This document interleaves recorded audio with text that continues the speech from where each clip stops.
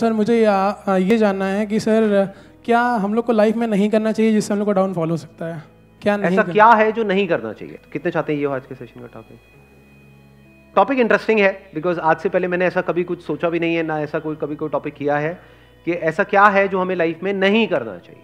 चाहे आप मेल हो चाहे फीमेल हो चाहे जॉब करते हो चाहे बिज़नेस करते हो चाहे स्टूडेंट हो कोई भी हो लाइफ में किसी भी स्टेज पर हो ऐसा क्या है जो हमें नहीं करना चाहिए? हाँ इनसे स्टार्ट करते हैं। सर मेरे हिसाब से किसी भी काम को किसी भी बात को किसी भी चीज़ को नहीं नहीं बोलना चाहिए। क्योंकि मैंने पर्सनल एक्सपीरियंस किया अगर हम पहले ही किसी काम को नहीं बोल देते हैं ना तो वो कभी सक्सेस होता ही नहीं है। और जितना भी आपके पास कॉन्फिडेंस हो आप उस चीज़ को कभी भी कर ही नहीं सकते। तो पहले नहीं बोलना नहीं सीखना चाहिए मेरे हिसाब से। Based upon our past experience हमारे माइंड में कुछ बैठ जाता है जिसको हम बहुत स्ट्रांगली पकड़ लेते हैं और अभी से पकड़ना शुरू कर देते हैं इसी एज से। यानी इस एज में हमारे माइंड में वो चीज़ें बैठने लग जाती हैं। बच्चों के माइंड में कुछ नहीं होता है। बच्चे बिल्कुल ब्लैंक स्लेट की तरह हैं। वहाँ पे ना हाँ लिखा हुआ है, ना ना लिखा हुआ है। पर जैसे जैसे एज बढ़ती चली जाती है, वो स्ट्रांग होता चला जाता है और उसी की वजह से फिर हमारे कॉन्फ्लिक्ट होने लग जाते हैं। उसी की वजह से सारी रिग्रेट्स आती है।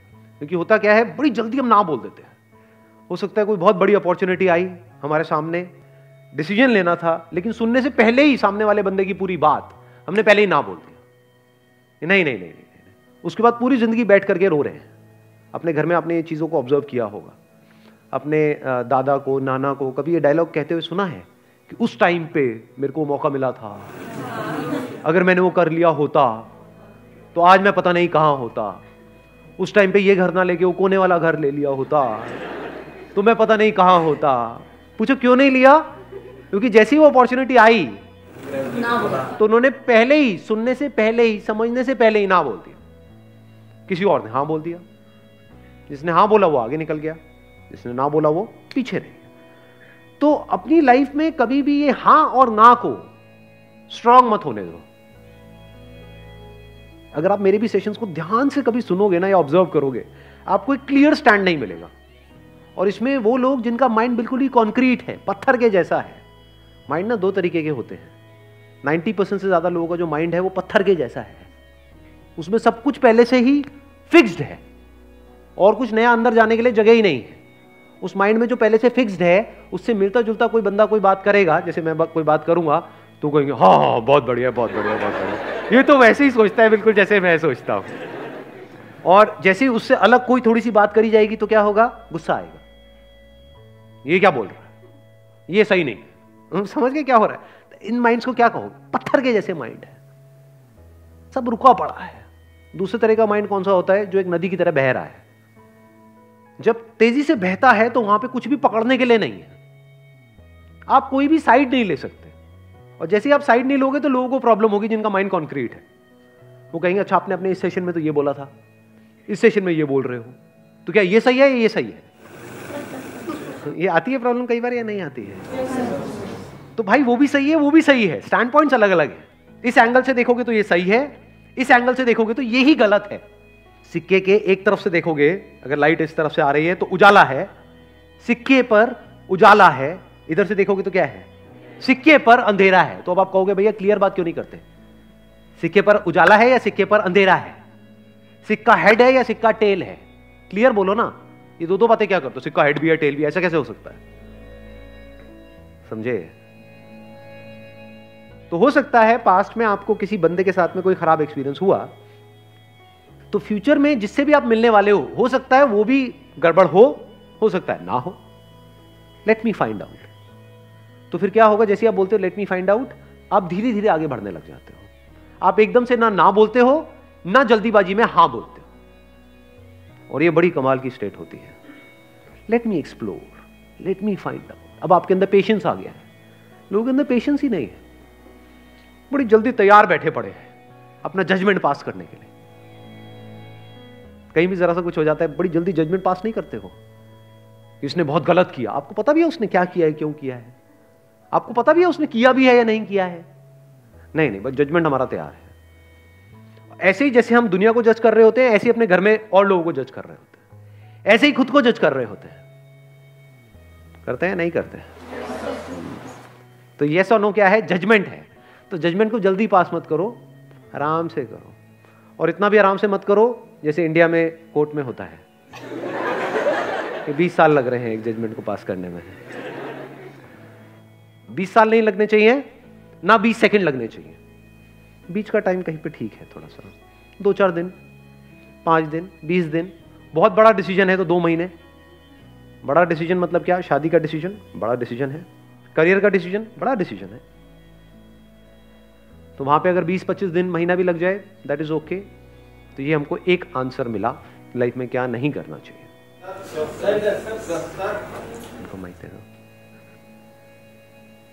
एक्चुअली सर मेरे को लगता है कि हमें हमारे ऊपर पर्सनली सेल्फ डाउट नहीं होना चाहिए, कोई भी काम करने से पहले। अगर हमने अपने आप पे डाउट करना शुरू कर दिया, फिर हम कुछ भी करेंगे लाइक अगर मैं यहाँ स्टैंड करूँगी, फिर मेरे को लगेगा मैं खड़ी हो रही मैं कहीं गिर तो नहीं जाऊँगी। सो मुझे लग रहा है कि वो डाउट नहीं करना चाहिए अपने आप पे। हमें अपने ऊपर डाउट होने लग जाता है कि मैं ये कर भी पाऊँगा या नहीं कर पाऊँगा। तो अब ये बड़ा अच्छा पॉइंट है, ये ख़त्म कैसे हो? ये जो सेल्फ डाउट है, ये एक बहुत बड़ी प्रॉब्लम है। क्योंकि अगर आपको अपने ऊपर ज़रूरत से ज़्यादा डाउट होने लग जाए, मैं इसको बोल सकता हूँ excess of everything is bad doubt हमारे माइंड में इस तरीके से आ रहा है कि मैं ये काम करूँ या ना करूँ, ठीक है, होना चाहिए. मैं इस बंदे पे ट्रस्ट करूँ या ना करूँ, होना चाहिए. कोई बंदा आकर के बोल रहा है कि हाँ मेरे को पैसा दे दे, एक साल में तेरा डबल करवा दूँगा. तो वहाँ पे डाउट होना चाहिए कि ये बंदा फ्रॉड है.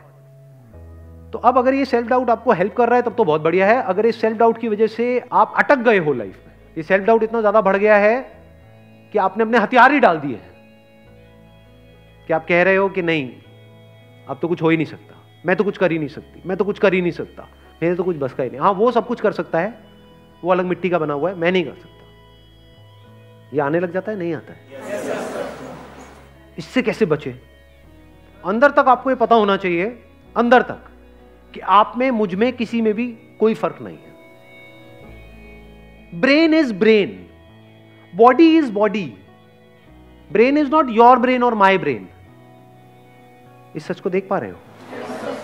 सिर्फ़ ब्रेन में जो इंफॉर्मेशन पड़ी है, वो अलग अलग है। बट जो ब्रेन है, जिस तरह से ब्रेन काम कर रही है दैट इज़ सेम उसमें इंफॉर्मेशन अलग अलग है। तो हार्डवेयर इज़ सेम आँखें सेम है। शेप अलग अलग हो सकती है बट जिस तरह से वो काम कर रही है, जैसे दो कैमराज हैं अलग अलग कंपनीज़ के तो बाहर से दिखने में अलग अलग हो सकते हैं ब्रांड अलग अलग हो सकता है पर जिस तरह से वो काम कर रहा है, वो सेम है। जिस तरह से लाइट पड़ती है मिरर पे जाती है, ये होता है रिफ्लेक्ट करता है, फिर वो इमेज को कैप्चर करता है वो सेम है, वो अलग अलग नहीं है। ऐसे ही जब इस सच को आप देख लेते हो यू मी और anybody we as in humans we are all same your brain is not similar to Einstein's brain it is same. तो एक एनर्जी आती है अंदर से। अब अपना अपने आप को अंडर एस्टिमेट करते हो, ना ओवर एस्टिमेट करते हो। क्योंकि ओवर एस्टिमेट भी जो खच्चर करते हैं, उनके भी माइंड में ये बैठा होता है मेरी ब्रेन तो पता नहीं क्या है आई एम तो जीनियस वो भी खच्चर है। जीनियस खच्चर है वो। हाँ। और एक है जो बेवकूफ़ खच्चर है, वो क्या कह रहा है कि नहीं नहीं, मेरी ब्रेन में ही कुछ कमी है। नहीं, मेरे में कुछ कमी है। मेरे में मतलब क्या? अलग तरह की इंफॉर्मेशन अंदर डाल दो अलग तरह से काम करने लग जाएगी ब्रेन सिंपल है। जैसे कभी ऐसा हो जाता है कि जब लाइफ में मूड बहुत खराब होता है, यानी एक तरह के थॉट्स अंदर चल रहे हैं, एक तरह की इंफॉर्मेशन अंदर प्ले होती चली जा रही है ब्रेन पे, एकदम से आपने मेरा कोई सेशन देखा, या कोई बुक पढ़ी, या किसी और का कोई सेशन देखा, एकदम से सब कुछ बदल गया। तो क्या बदला है वहाँ पर? क्या ब्रेन बदल गई हार्डवेयर बदला है। सॉफ्टवेयर ही तो बदला है। इंफॉर्मेशन ही तो बदली है। पहले अपने अंदर ही अंदर कुछ और बोल रहे थे, अब कुछ और बोल रहे हो। आया समझ में? नहीं आया कुछ। अब कहाँ पे है सेल्फ डाउट बताओ। अब यहाँ पे ना तो इंफीरियोरिटी कॉम्प्लेक्स है हमारे अंदर, ना सुपीरियोरिटी कॉम्प्लेक्स है। कुछ भी नहीं है। कि मतलब मेरी ब्रेन और आइंस्टाइन की ब्रेन सेम है। आपकी ब्रेन और किसी की भी any person you name it जो भी पास्ट में हुआ या अभी है या होने वाला है सेम है। कोई फ़र्क नहीं है। इसको सिर्फ़ ढंग से यूज़ करना है, समझदारी से यूज़ करना है। बस। और कुछ नहीं है। इनको देना माइक जरा। हाँ पीछे। मैं बस ये कहना चाहता हूँ कि हमें अपनी जड़ों को नहीं भूलना चाहिए अपने पेरेंट्स उनके एक्सपीरियंसेस बहुत अच्छा पॉइंट इन्होंने बोला है कि हमको अपनी जड़ों को कभी नहीं भूलना चाहिए। देखो एक पेड़ है किस बेस पे डिसाइड होता है कि वो पेड़ कितना बड़ा हो सकता है? उसकी जड़ें कितनी अंदर तक है? तो अगर हमको ऊपर बढ़ना है ऊपर मतलब आप कह सकते हो बाहर इस दुनिया में अगर बढ़ना है तो अंदर जड़ें उतनी ही स्ट्रांग होनी चाहिए। अगर अपनी रूट्स को हमने छोड़ दिया और ऊपर बढ़ने की कोशिश कर रहे हैं तो गिर जाएँगे। थोड़ा सा आंधी तूफ़ान आएगा, दिखेंगे भी नहीं कहाँ गए। तो हमें क्या नहीं करना चाहिए? कभी भी अपने माँ बाप की डिसरिस्पेक्ट नहीं करनी चाहिए, किसी भी हालत में। अपने माँ बाप के बारे में कुछ बुरा सोचना तक नहीं चाहिए, करना तो बहुत दूर की बात है। और कुछ लोग थोड़ा बहुत पैसों के चक्कर में पता नहीं क्या क्या कर रहे हैं। किसके साथ? अपने माँ बाप के साथ। कौन है माँ बाप आपकी जड़े हैं। और सोचो, आपको एक मज़ेदार बात बता देता हूँ कि जो बंदा अगर आपको पहचानना हो ना कि वो बंदा कैसा है, कि उस बंदे के साथ उस पर भरोसा करना चाहिए नहीं करना चाहिए तो उस बंदे को ये देखो कि वो अपने माँ बाप के साथ कैसे बिहेव करता है। उसने अपने माँ बाप के साथ क्या किया?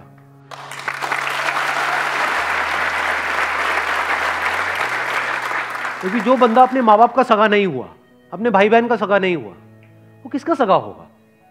उस पर क्या भरोसा करोगे? वक्त आने पे वो आपको भी काटेगा। जिसने अपनी जड़ें काट दी, उसके लिए और दूसरा पेड़ कहाँ मैटर करता है? आप तो दूसरे हो ना। जिसने अपने को नहीं छोड़ा, वो आपको क्या छोड़ेगा?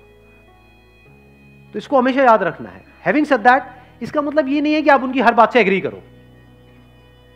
नहीं ओपिनियन अलग अलग हो सकते हैं। डिसीजंस के बेस पे लड़ाई हो सकती है कि मेरा डिसीज़न ये है, आपका डिसीज़न ये है।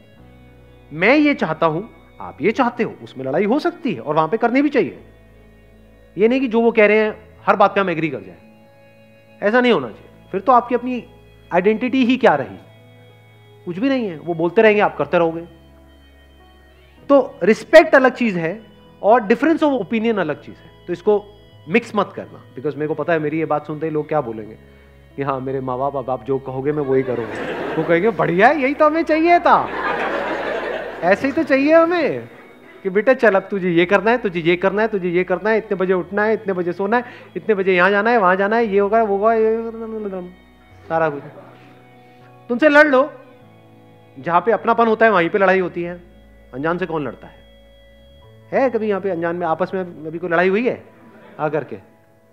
तू मुझे पसंद नहीं है भाड़ किया किसी ने ऐसा? आपस में। हाँ?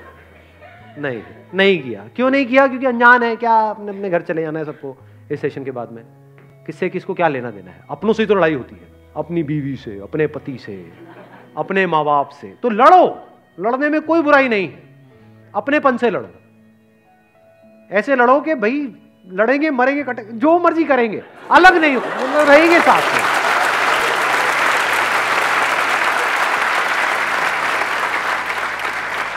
इसको इस तरह से भी कह सकते हो, आपस में लड़ेंगे। बाहर का कोई आएगा तो फिर हम एक हो जाएँगे। फिर नहीं छोड़ेंगे। या एक्चुअल में अगर कोई मुश्किल आएगी तो हम सब एक है। हाँ आपस में हमारा चलता रहता है थोड़ा बहुत। उसमें कोई बुराई नहीं है। तो जड़ों को याद रखने का मतलब जड़ों को ना भूलने का मतलब कि कुछ ऐसे लोग हैं आपकी लाइफ में जो आपको अंदर तक पता है कि ये मेरे अपने हैं। कैसे पता है? क्योंकि जब आपकी लाइफ का सबसे खराब टाइम चल रहा था, तब भी वो आपके साथ थे। वो आपके अपने हैं। फॉर श्योर आपके अपने हैं। जब खराब टाइम में नहीं छोड़ा तो अच्छे टाइम में क्या छोड़ेंगे? और कुछ ऐसे लोग होते हैं, थोड़ा सा आपका टाइम अच्छा होता है पीछे पीछे घूमने लग जाते हैं। आपके लारे लपे करेंगे, आपकी तारीफें करेंगे। आपको बोलेंगे कि हाँ तू तो मेरा भाई है। हम तो ये हैं, हम तो वो हैं वो हैं। जैसे ही आपका टाइम थोड़ा सा खराब होगा, आपको छोड़ देंगे। आपकी तरफ़ देखेंगे भी नहीं। आपसे बात तक नहीं करेंगे। एकदम पीट कर देंगे आपकी तरफ़। तो आप पहचान सकते हो ऐसे लोगों को, कुछ ऐसे लोग थे आपकी लाइफ में, जब आप कुछ भी नहीं थे, या ये कह लो खराब टाइम चल रहा था, तब भी वो आपके साथ में थे। तो ये आपके अपने हैं। दुनिया इधर की उधर हो जाए, इनको नहीं छोड़ना है। चाहे घर अलग अलग हो जाए, देखना, इसको भी ध्यान से समझ लेना। इसका मतलब ये नहीं है कि हाँ एक ही घर में रहेंगे जी, अब तो सास बहू आपस में एक दूसरे का गला काट रही है, लेकिन रहेंगे हम एक साथ ही। ये नहीं कह रहा हूँ मैं। चाहे घर अलग अलग हो जाए यानी फ्लोर अलग अलग हो जाए, अपार्टमेंट अलग अलग हो जाए। आप यहाँ रहते हो, वो वहाँ रहते हैं, या दूर भी रहते हैं। आप दिल्ली में रहते हो, वो बॉम्बे में रहते हैं। दैट्स ओके लेकिन दिल से हम एक है जी मर्द दम तक हम अलग नहीं हो सकते। That must be very clear जिसके माइंड में ये क्लियर है, उसकी जड़ें पक्की है। Wish you all the very best thank you so much for coming